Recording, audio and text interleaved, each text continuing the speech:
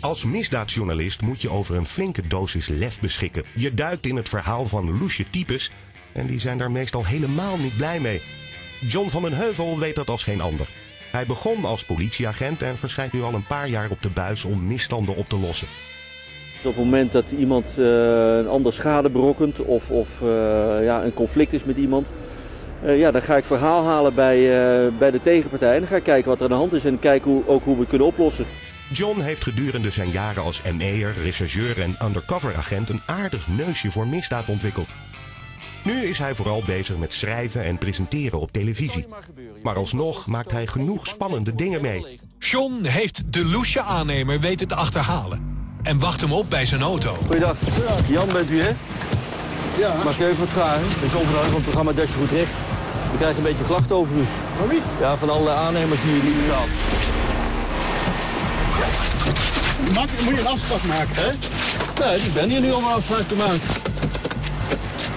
Nou, sloot je eigen auto, hoor. De aannemer reageert agressief en probeert weg te komen. Hij gaat een naastgelegen pand binnen. En die deur gaat echt niet dicht, hoor. Komt dit nou zo moeilijk? Als je met praten wilt. Ja, nou, kom maar. We zijn hier om te praten. Het mogen duidelijk zijn dat John niet op zijn mondje is gevallen. In het SBS6-programma Das je goed recht doet hij er alles voor om gedupeerden van wat voor onrecht dan ook te helpen. Want er is een verschil tussen in je recht staan en het ook krijgen. Maar niet iedereen is gecharmeerd van de brutale werkwijze van John. Zo krijgt hij het in 2009 flink aan de stok met een oplichter die hij confronteert met zijn gedrag. Welkom. John van den Heuvel is vanmiddag in Rotterdam aangevallen door een aannemer... die hij aan de tand wilde voelen voor zijn programma Das je goed recht. Toen John samen met vijf gedupeerden bij de aannemer aankwam... ontstak de man in woede en liep het uit op een vechtpartij.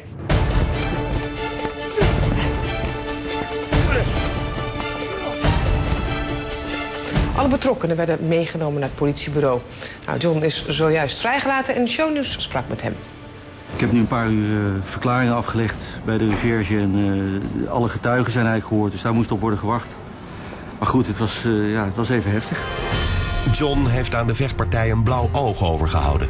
Ja, nou, hij raakte me eigenlijk als eerst op mijn oog, dus, dus ik zag eigenlijk meteen niet veel meer. Dus ja, toen ontstond er ja, een behoorlijke schermutseling. Laat ik het daar maar op houden.